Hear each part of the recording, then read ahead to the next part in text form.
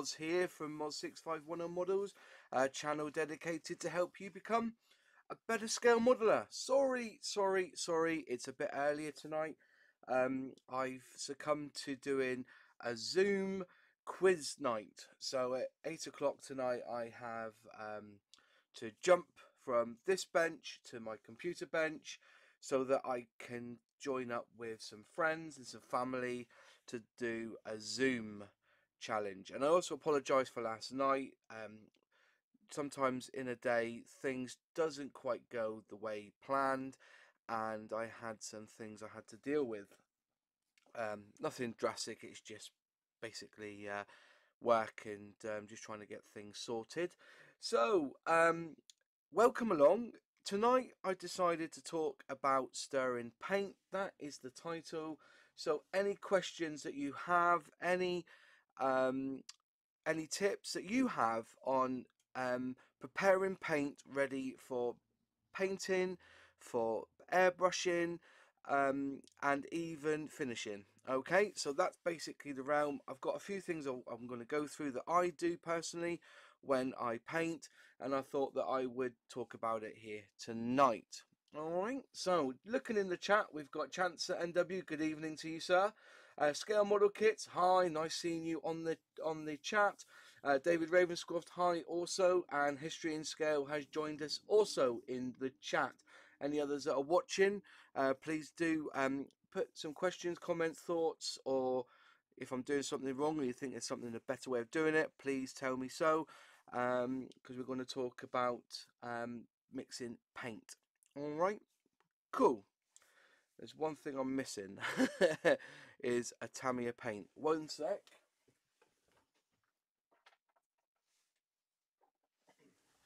It's always good that you have your stash available. So, um, people have asked me um, why I, I like Humbrol. I think Humbrol is very underrated. It does cause issues, I'm no doubt about it, but I am a firm believer if you use product to product, right, you will get a good result.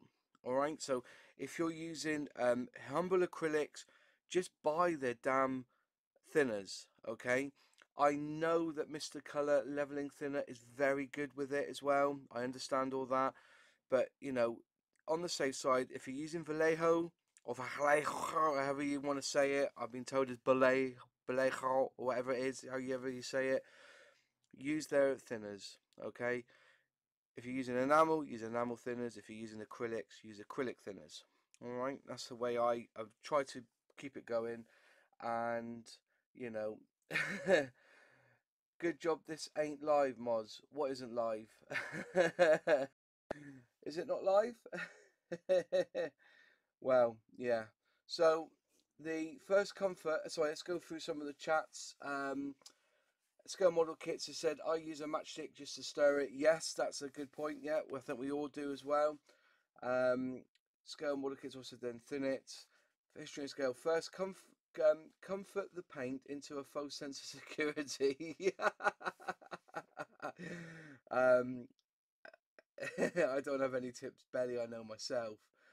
Um, and Dave Roscoe said, "Good job, this ain't live, Moz." Yeah, right. So, anyways, um, first off, as I said, try and keep to mixing the product with the with their brothers and sisters. Okay, that's one of the one of the the main rules I find. Vallejo, um, yeah, use their thinners, but also um, if you're using the their model paint that isn't specifically for airbrushing, um, there's a tip out there that you should try and use the flow improver. Apparently, that's really good. There is a guy who does the um, the um, uh, airbrushing, and he he uses flow improver instead. But I personally, because I I don't really have model um, Vallejo model paints. I have their model air range, and that's basically it. That's all I have. So, how I mix paint, just to start off with, there's three ways I mix paint. So, um, if I undo this yellow pot here, you will see the Tamiya. Yeah, I understand that now. I got it after. I was forgetting the paint. Yeah, good job. Yeah, I, I thought I had it all together, but I didn't.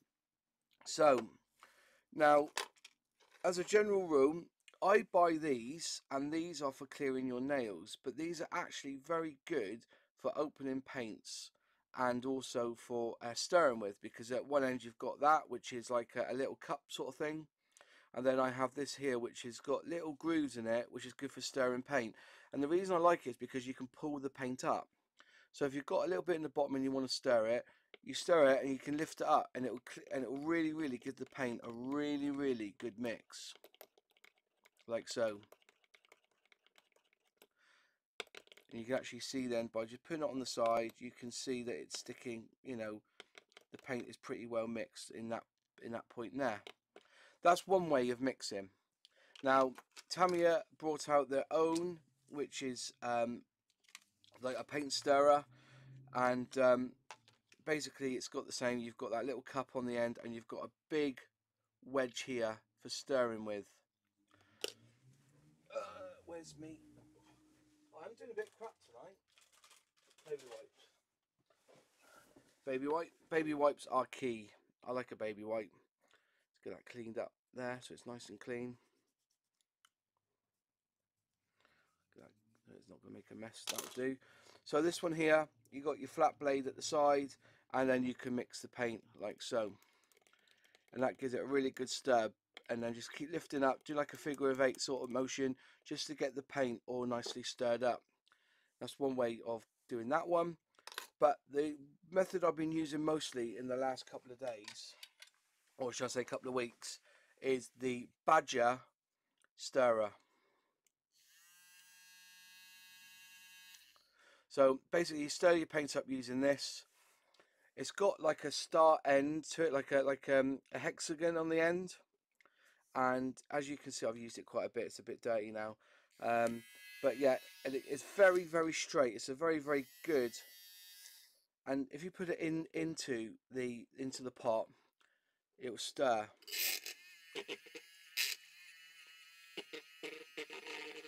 And you're getting all the angles. And there. It mixes the paint. These are very good but they are pricey though for what they are. You know I remember buying these as a kid to do milkshakes with you know with that little springy thing on the end. That's basically what it is. Um, just looking in the chat um, I chance uh, writes I tend to use a rather odd shaking action that my wife thinks is a bit weird though a few times I've launched the odd pot around the man cave. yeah, you can do that. You can do the old general shaking, shaky, but I don't think it. You, you know, it, it doesn't quite get. You know, you want to get here. This is where you want is to get this off the bottom, and yet you can shake it. But I think you need to get in all. You know, get all that, all that pigment out the bottom into the actual mix itself, and you can shake it. It's the same with all of these. Um, tight that one. Ah, this is that number 11 that's really, really bad, isn't it? It's not too bad. It's a little bit thick. But I'm just going to show you this one here. This one's been settled for a while. And uh, we'll get the mixer. And then I'll put it in. And then we'll mix.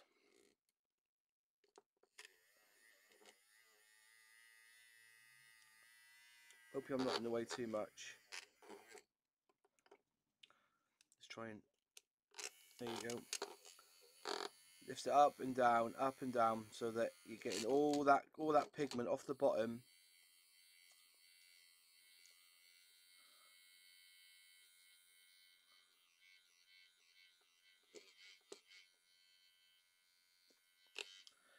You will get a little bit of splash because it's only acrylics it doesn't really matter. It comes off with water doesn't it? And you can see it's really starting to to cover now.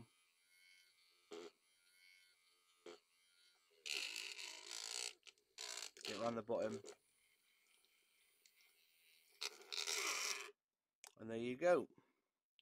See that gloopy mess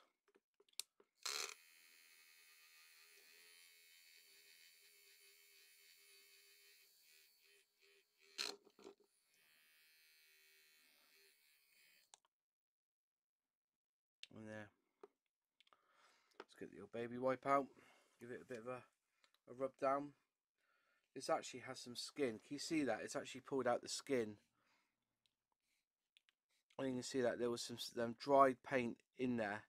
And it's actually pulled out that, that, that top layer skin at the bottom.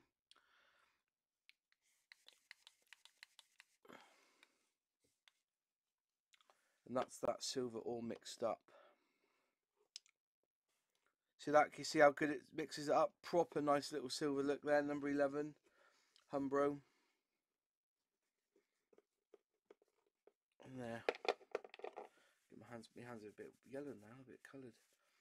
So yeah, those are the three ways that I actually um, mix paint. There's other ways you can um, you can give it a good shake. Now, um, a lot of people put um, what they you know an agitator in the actual in the actual paint as well. So if you get like a fresh tin, this one's freshest. Which one's fresh? That one's fresh, isn't it? 65. Let's look at 65. I'm not too. I don't know about this method. I think there's merit in the method, but I'm not too sure what you know how it would really. Let's get this off. Go around the side. Basically, it's for if you want to just shake by hand. I think.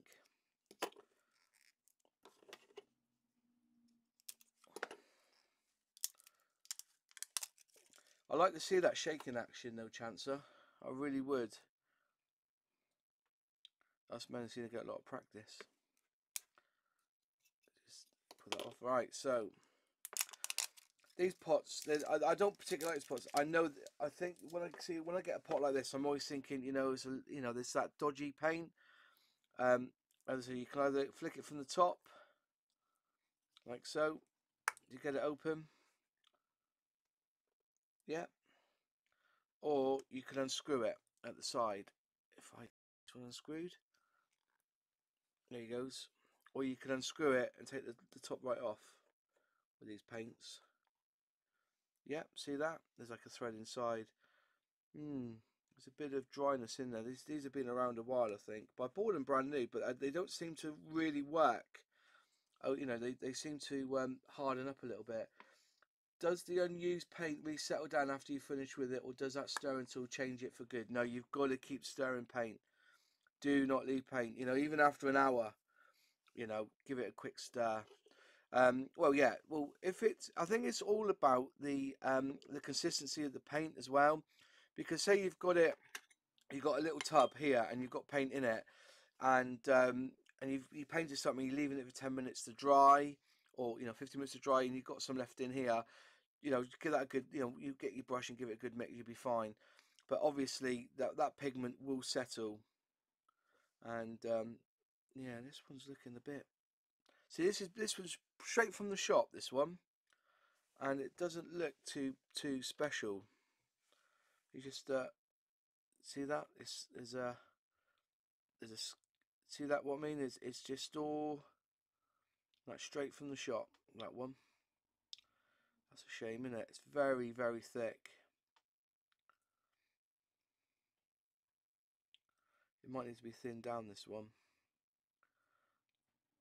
See what I mean? It's it is this is straight from the shop, so you can see th these these tubs are not very good at all. I think the air gets into them somewhere. We'll try and mix it up. Quite is thick. That is mega thick. I don't suppose it's supposed to be that thick. Get round using the old matchstick. Look at that. It's going to need some thinner than that one. That, that's incredible, isn't it? But this is what you got, you know, this is what I'm saying. When you see Humbrol paint and you see it in these sort of pots, try and shy away. Try and shy away. Let's put that one in the bin there. I was trying to find which I could shake for you. So you can see. Let's try this one. This one's a this one's a brand new one. This one, these paints here, these three here, are for the um,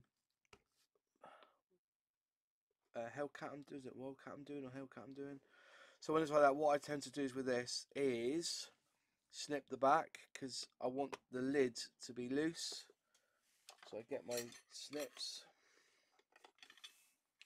and just snip the back so I can just pull this off I prefer that sort that sort so what you do is you get the your little glass ball or you get a little ball bearing but be careful because you don't want the ball bearing to rust and you put that in the paint and then you put that on top and then you can hear it. That ball helps mix the paint.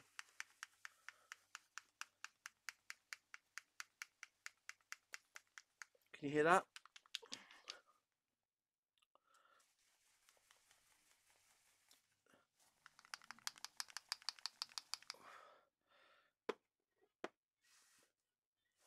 what's that noise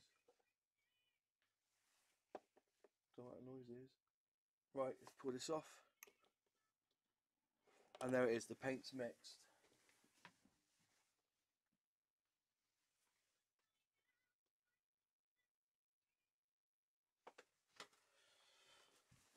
There's a car outside with his music blaring. So yeah so that's the paint mix there with the ball bearing in. And it is a good technique because you've got the ball bearing to bang against and you know really agitate the paint the way I shake it is to hold the pot turn my wrist down towards a 90 degree angle then oscillate side to side to a 100 degree arc like, like this.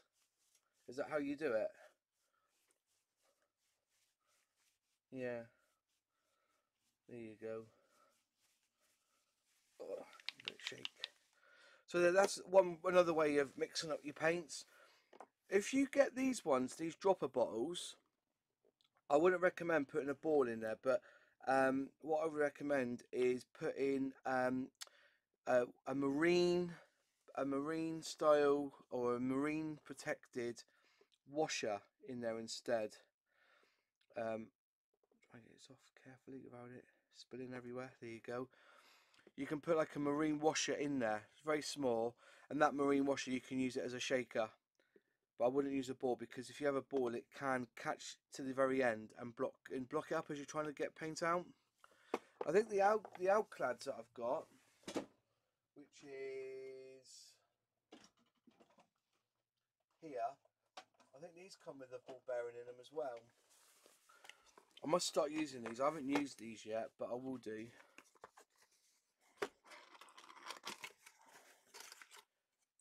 you shake. Can you hear that? There's a ball belt ball bearing in there, and it proper shakes them up. There's a few ball bearings in that one, and that shakes. This is this is enamel. This one. This is. Give it a good shake, so you can see that the, all the all the all the sediment is hit. If I do it that way, it's all the sediment has hit the bottom there. So there you go. You can. This one's going to need a really good shake because this hasn't been opened yet and you can see by using those ball bearings helps with the um, helps with the mix is putting the ball bearing in or something metal that's not going to rust into the pot so that it actually gives it a clean. All right just um what I'm gonna do let's put a little bit of um IP alcohol in. Just take it off. Tiny bit of um, alcohol.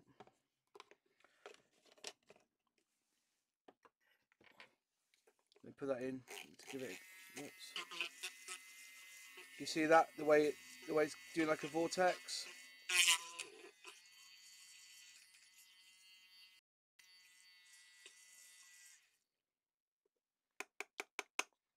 That basically cleans up the the end so it's nice and clean. Brilliant. Right. Any tips that you have on um, cleaning or mixing paint? Let me know. I will be doing a review on this one because I have got a trumpeter one coming as well and I'm going to do a side by side to see how they how they you know how they operate how they both work. But once you get one of these it's very difficult to go back because once you got it you keep using it and it is a very good bit of kit. It comes off at the end. There's like a little slot there on the very end. You find the slot, push it in, and then it goes. So if you do end up bending these, you can buy these separately. These arms, you can buy them separately, and they have got they have got some power to them.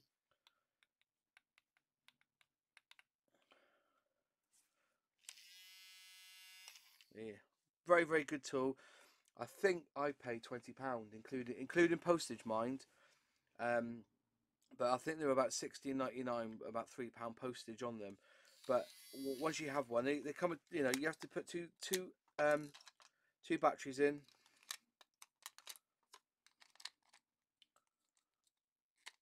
Uh, that's the way in it.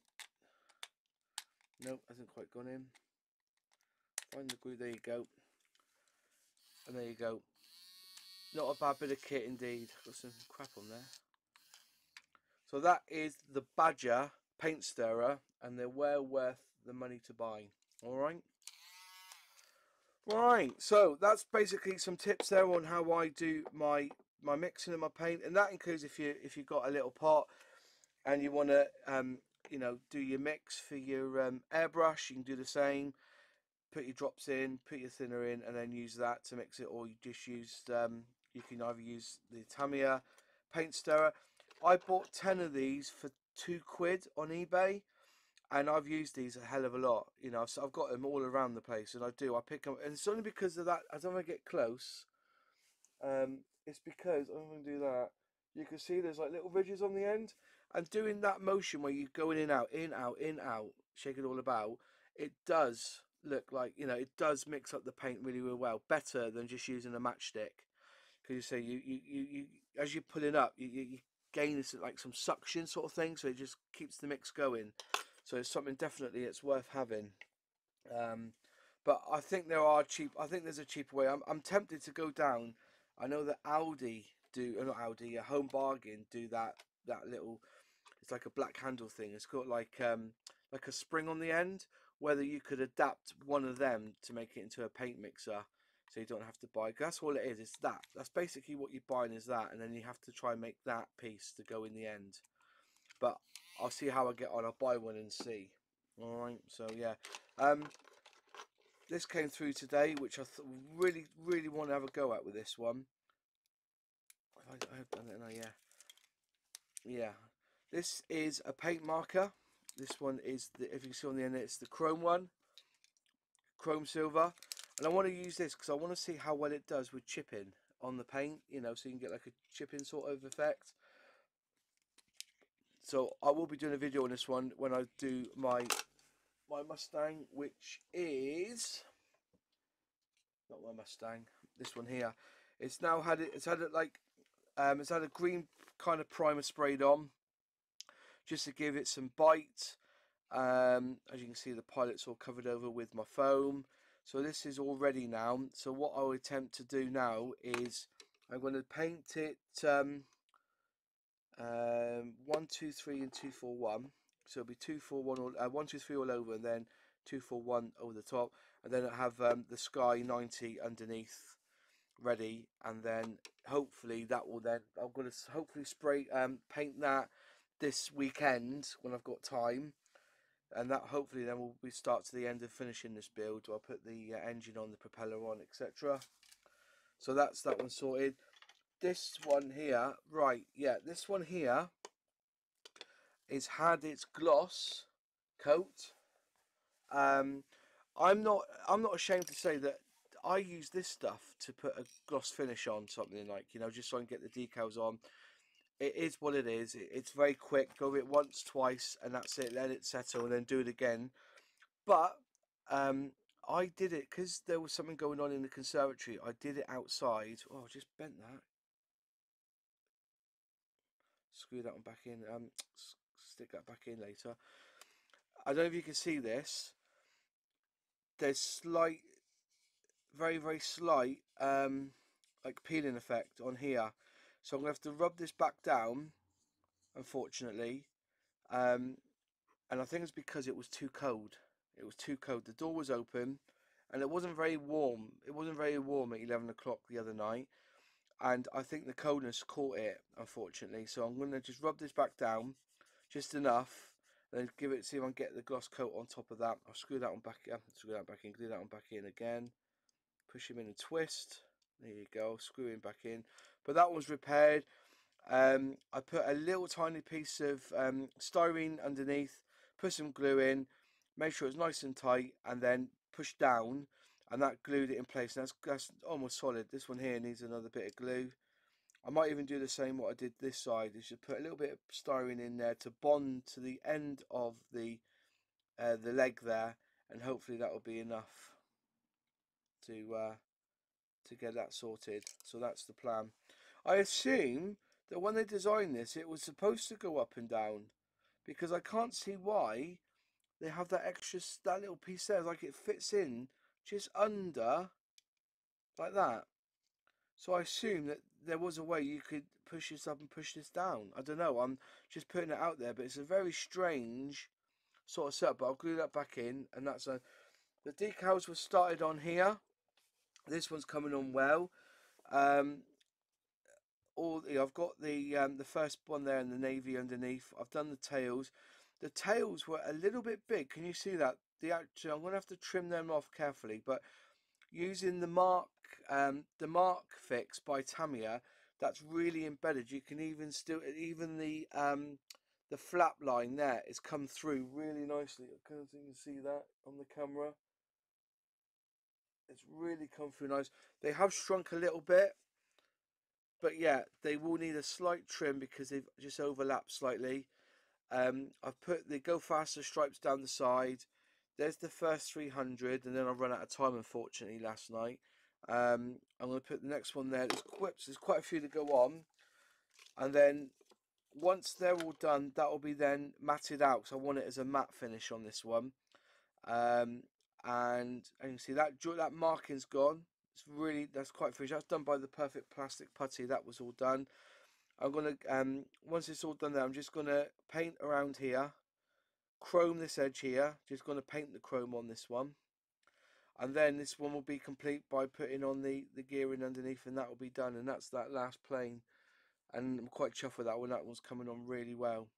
Had quite a bit of filler on the front as you see. There's a massive gap there where it joined together but now that gap's gone it's looking pretty pretty swell.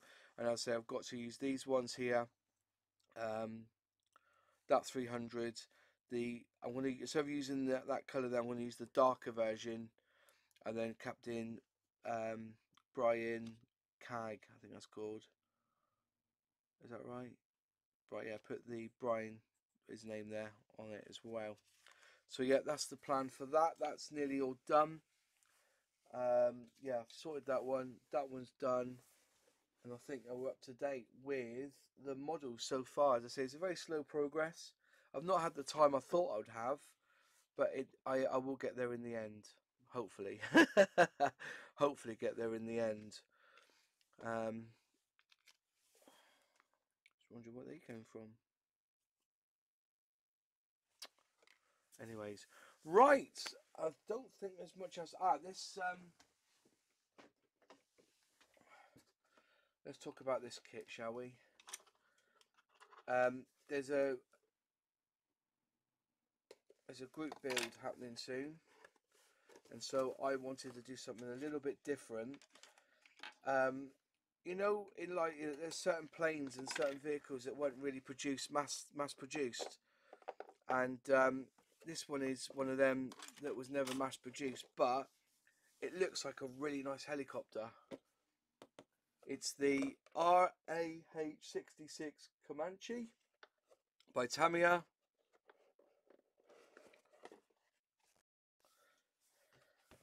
Um, Let's have a look what's there on the side. Doesn't say a lot, apparently. Doesn't say a lot. It's from the Warbird collection.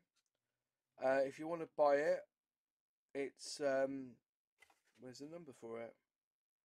Six oh seven three nine.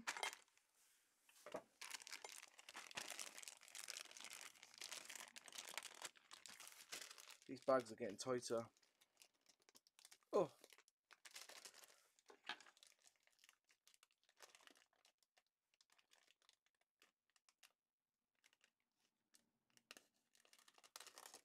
Yeah, put your video out there, Chancer. Definitely, put your put your video out there. Let's get you on. And if you want to come on this one, you're quite welcome to jump on if you want. We can do a build together. A Baggy's doing a, um, a, a Zoom hangout tonight with his family for a quiz. So, there it is. That is the plane. Look at the look at the angles on there, man. That is a that is an impressive bit of um, that is quite impressive.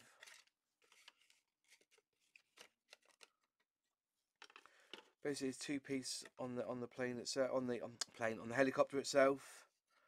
The propellers in four pieces, uh, one, two, five pieces actually, five propeller pieces there. There's some gear in there. That's pretty smart. I'm chuffed to bits with that. I suppose that that's the rear uh, rear propeller. There's the top propeller there. Nice bit there on the back there. I'm just looking at the detail for the cockpit and I can't see any, unfortunately. Unless there's not a lot of cockpit detail on this one. Ah, there's the cockpit there, isn't it? Yeah, a couple of screens there. But this is going to be my next build for the uh, group group build.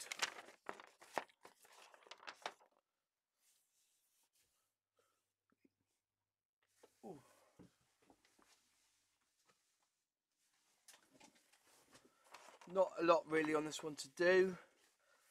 Two pilot seats there, front and rear.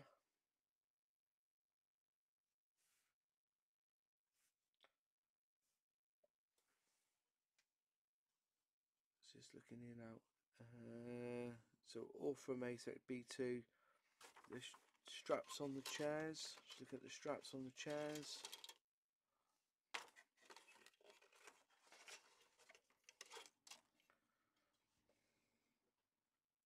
Oh, there were straps on them. Just detail the straps on the chair. I thought you had to put them in yourself. Just looking at the uh, shape and design of it. I just think it just looks pretty smart. The Comanche lends itself to what if build. You could find some nice decals for it. Maybe Fleet Air Arm. Yeah, that might be a chance. I'll have to look at that. I'm trying to see when what when when it was actually um, when it was actually released.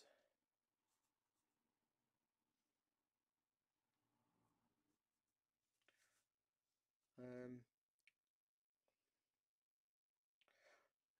Comanche. There it is. So let's see what. Uh, when has he go? I see Revell did one. Revell's done a copy of it. Um, Italiari did one in 1999. So looks like uh, yeah, Italiari, Italiari. I don't. see, Oh, there it is. Hasegawa brought theirs out in 2001. This was a 2001 model, so it's 20 years old. This one. Um, so ah, so it is the Italiari. So Italiari brought it out first. Then Testors reboxed it. Tamiya's reboxed it. Um, Kitex reboxed it. Revell's reboxed it. Then Italiari's boxed it ever since. So really, it's one tool in, and it's been used by one, two, three, four, five manufacturers. So Italiari had it first. Okay, Italiari, Italiari. What I say Italiari because I just remember them being called Italiari. They were. I'm sure. They, you know, if you want people say to me, I've never heard of him being called a Italiari. There's the proof. Look, Italiari, Italiari. See, that's the, this is the Thunder Streak. This one, F F84F, and I swear that, I, and I still call it that now, but it's a Tallery, isn't it? It's a Tallery. Silly sod that I am. So yeah, so basically, this has been around the block a few times. This this tooling, but to me, it just looks good in this box. I think they've done a cracking job with the with the molding. I suppose there's going to be some rivet rivet uh, counters out there who will probably tell me there's, lots wrong with it.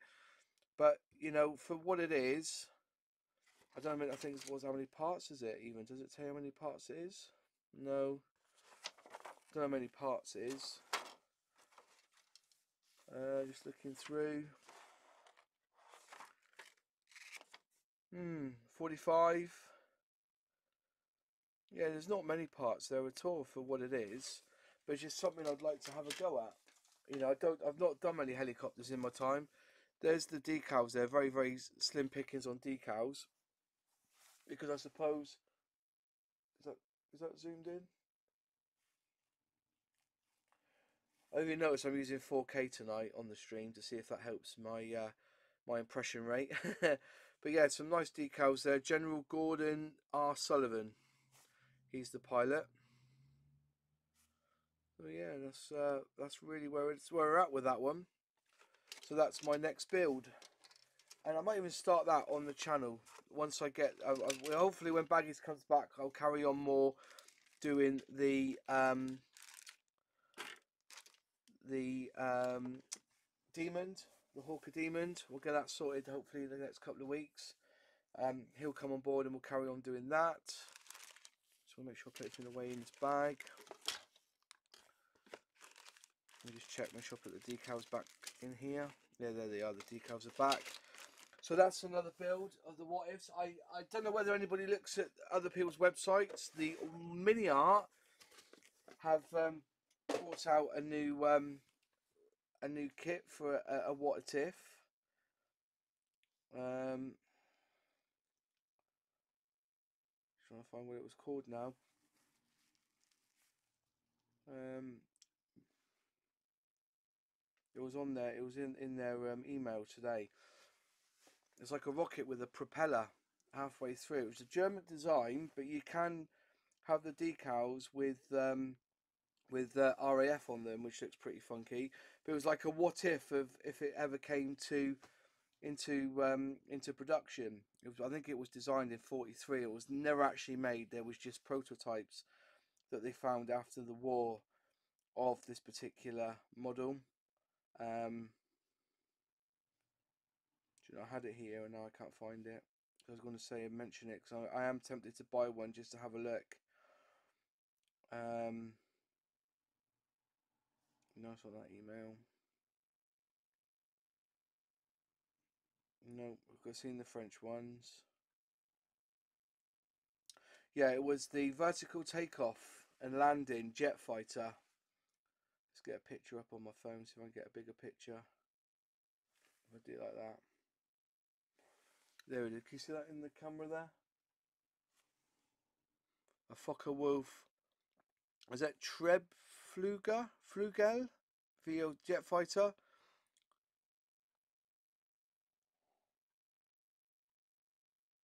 Comes with photo etch and you got your, your German and your American uh, flags there. Even your Russian flags, it's got your your your German symbols there and you can there's six I think there's six yeah there's six six different um, finishes you can do that um, well you know with the um, with the um, with the greens and the dark earth and everything it's all it looks pretty smart with the red.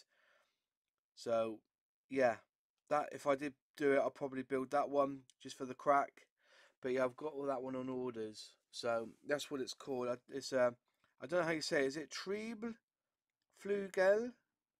The captured Triebel, Trieb, Triebel, Flugel, in, I'll find out, I'll do a Google Translate and see what it means. But it was captured in the service of the Royal Air Force 1947, but it never was made. It was all a little bit, um, you know, bit of fun really, bit of design work. Right, sorry it's a bit of a shorter chat this week, gentlemen, uh, this evening I should say. Thank you very much for watching. Um, if you do like the video, click like, obviously. Um, if you can uh, tell your friends if they're into modeling and they want to watch a live stream come and join us and chat you know i'm always open to hear what people have to say um, also if you want to come and join me in the chat you know actually come on and with your workbench put a camera up and we can talk together um, i use skype and we put it through the um, through the um, through the through the mac there but i am looking at getting a windows pc to do it easier because Mac just seems to be hard work. So we can do that. We can start building together. I'm happy with that. We'll have a chat. Um, I am going to do one week, uh, one day a week.